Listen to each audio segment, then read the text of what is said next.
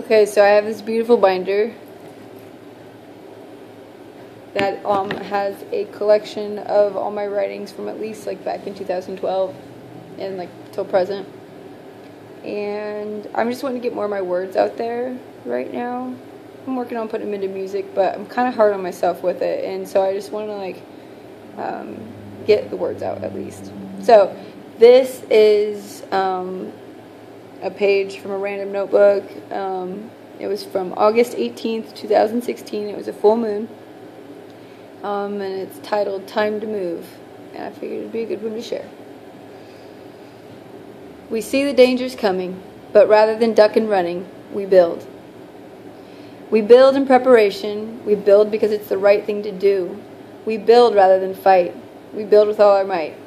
Tonight is the night, moon high in the sky. She's calling you. Spread your wings, know your worth, and take flight. You know what to do, and that it's all up to you. To live your truth and inspire the youth to get up and move. Food is medicine, and changes must be made, because food can also be poisoned, tortured, and enslaved. There is a better way. We are the change. Communities, tribal living, it's the solution to all of this mass pollution.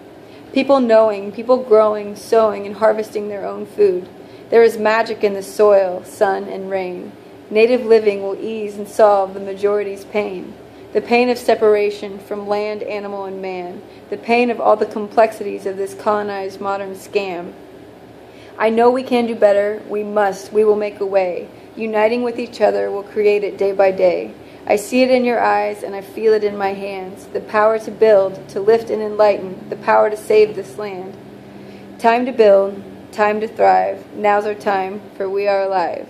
I hope.